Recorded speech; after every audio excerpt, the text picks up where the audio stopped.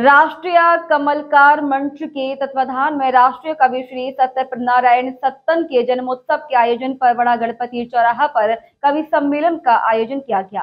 अध्यक्षता पूर्व सांसद कवि डॉक्टर ओमपाल सिंह, निर्णय की मंच से पूर्व विधायक आकाश विजय वर्गीय और महापौर पुष्य मित्र भार्गव द्वारा सप्तम का स्वागत किया गया।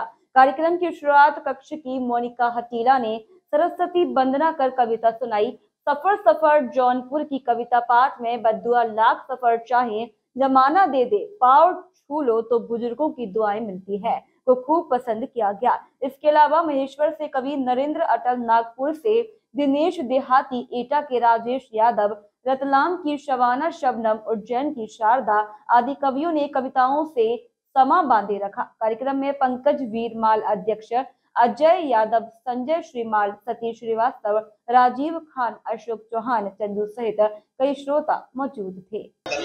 गुरुदेव का इशारा हो गया है, क्योंकि गुरुदेव का जो परिचय है वो मुझसे ज़्यादा आप जानते हो, पर मैं इतना ज़रूर जानता हूँ कि महेशमती माँ महेश्वर के तट से जब मैं नर्मदा का कंकर वहाँ से निकला था तो मुझे याद आया कि शायद जय सियाराम बाबा का वो आशीर्वाद भी आप तक पहुँचे। गुरुदेव और आपके परम मित्र श्रद्धेय टेलर साहब का भी स्नेह आप तक पहुँचे माँ नर्मदा का पहुँचे। एक बार तालियाँ बजाओ यार मौसम बनाना है।